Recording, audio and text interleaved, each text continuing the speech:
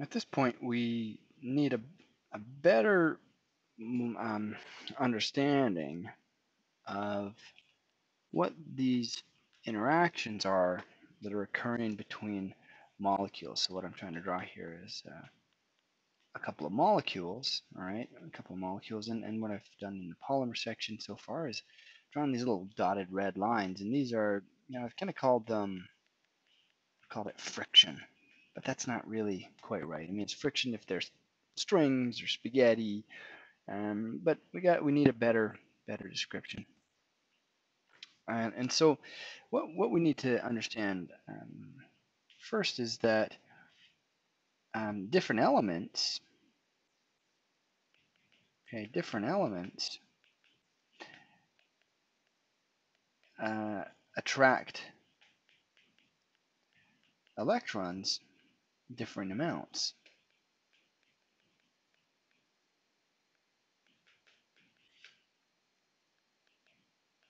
Differing, oh my goodness. Differing, that's better. Uh, amounts. So,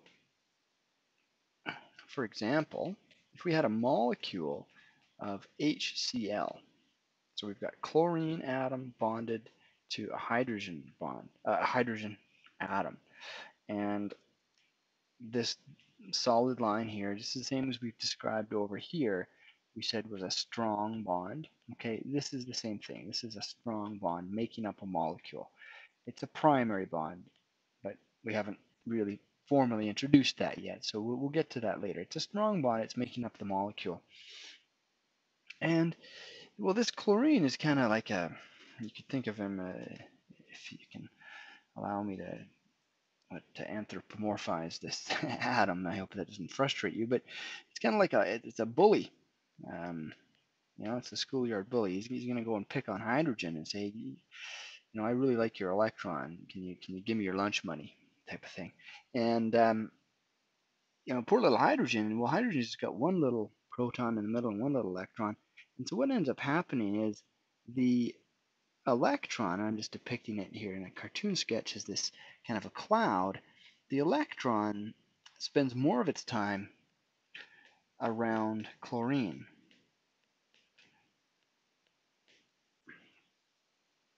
And so then what happens is that, en that ends up making the chlorine end of the molecule, because chlorine is attracting that electron, and electron is negative, it makes the chlorine end a little bit negative. Right? It appears electrically a little bit negative in, in charge. Okay? And then the hydrogen, because it's lost that electron, it's got a, in its center, it's got a little proton, which is positive. And we'll, we'll dive back into that structure in a little more detail. But the hydrogen becomes a little bit positive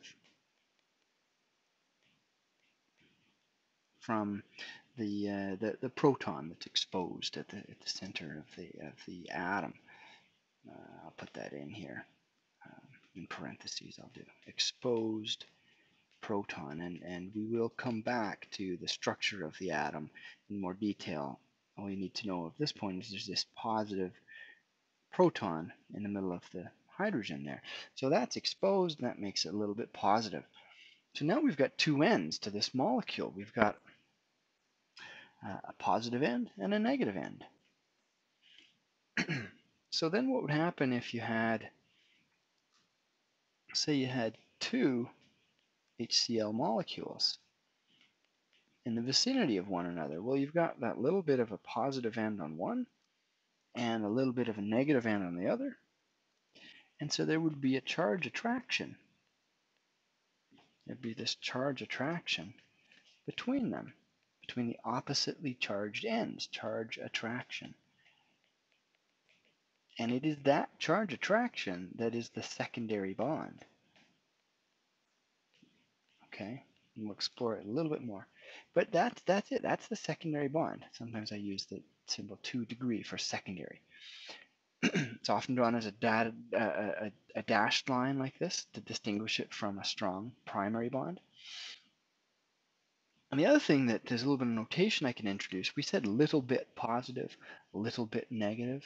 So instead of saying that each time, which gets quite cumbersome, what we can do is we can say, we can use this, this little symbol, lowercase Greek letter delta, uh, which means a little bit of, and little bit negative on the chlorine end, and then little bit positive, delta positive on the hydrogen end.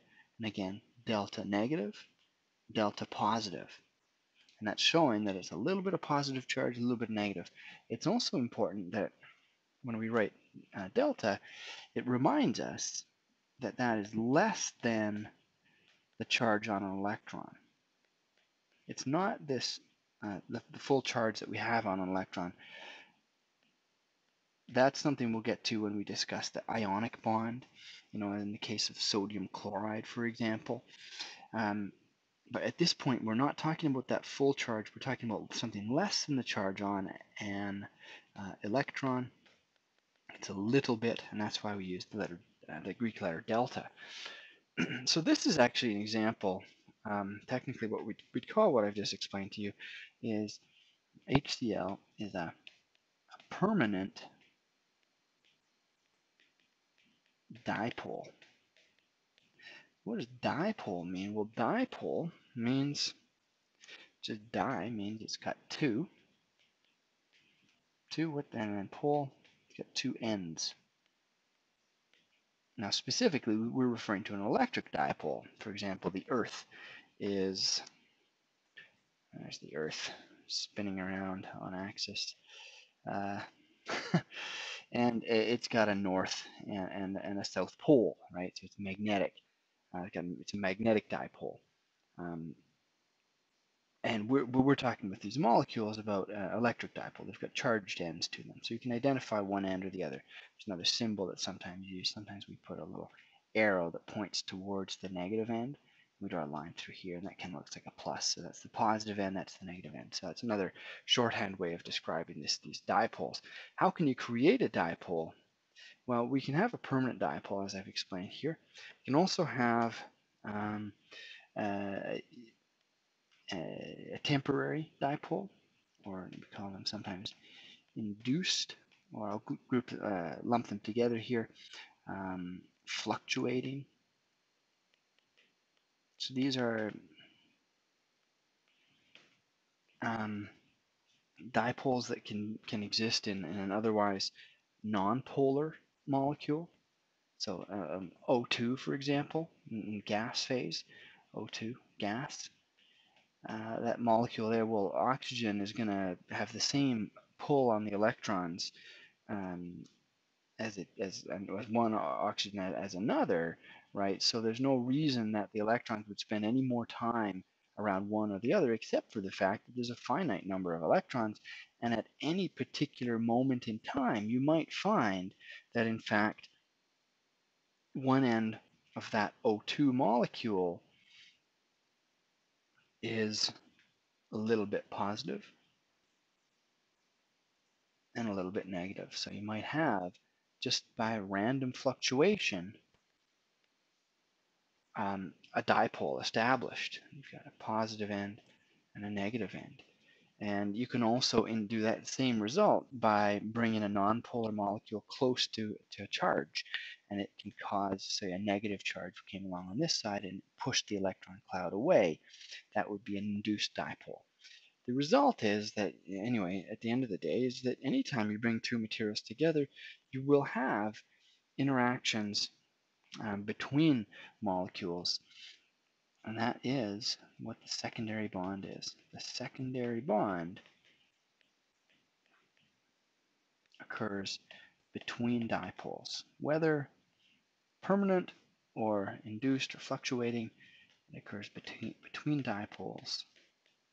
And they're always there. They're, they're much weaker than the primary bond. You put your hand on the table that you're sitting in front of right now probably and you're going to establish secondary bonds between your hand the proteins in your hand and the surface of whatever it is your, your desk is made out of uh, sometimes a secondary bond is, is referred to as a secondary interaction some people like um, like to distinguish it from primary bonds, so they call it an interaction. Yeah, you may have heard of other names for this, the uh, van der Waals interaction. That's another A. Van der Waals. London dispersion forces, referring to the same thing. Okay, just uh, the way it was modeled. That's why it comes. It has this name for uh, bizarre name, London dispersion force, but it's referring to the same interaction. Um, so it's all the same, the, the, the, same, the same thing, and it'll happen between any two materials brought together. And there's a special case of secondary bonding that I'll just wrap things up with. Well, what are the biggest bullies in, in, in the schoolyard? You know, what elements most strongly attract electrons? So that's the last thing we'll say. What are the biggest bullies? Biggest electron bullies? electron bullies. And that is the, ele the elements that uh, most strongly attract uh, electrons. There's a term that you may be familiar with. I'll just mention it now. Electronegativity. That's how much uh, a particular element uh, wants to attract an electron. Negativity. So the most um, strongly attracting of electrons, the elements that are most strongly attracting of electrons are oxygen, fluorine, and nitrogen. And what's the element that's easiest to pick on, to bully? Well, hydrogen, with its just its one little electron and one proton. So if we have hydrogen, uh, so oxygen, fluorine, or nitrogen bonded to hydrogen, it sets up a really strong dipole. For example, hydrogen fluoride, right? The fluorine is much more um, attracting of that electron and you get a strong dipole established. And then you can have between one of those molecules and another a strong secondary interaction between the partially negative end of one and the partially positive end of another. You get that secondary interaction and that is a special case, or it's a kind of a we've we've defined it as humans as a special case. It's still a dipole interaction, a secondary interaction, but we call that the hydrogen bond. So it gets its own name just because it's particularly strong. It's technically in mechanism, it's no different from any of the other interactions, but it's just, we've just defined, okay, if you've got hydrogen bonded to oxygen, fluorine, and nitrogen, you can have a hydrogen bond. And that's, uh, that's quite important. We can actually use that, for example, in um, a strong polymer like nylon or Kevlar. There's hydrogen bonding that occurs between chains, and that contributes to its strength. So the hydrogen bond is quite important, and it's a special case of secondary interactions.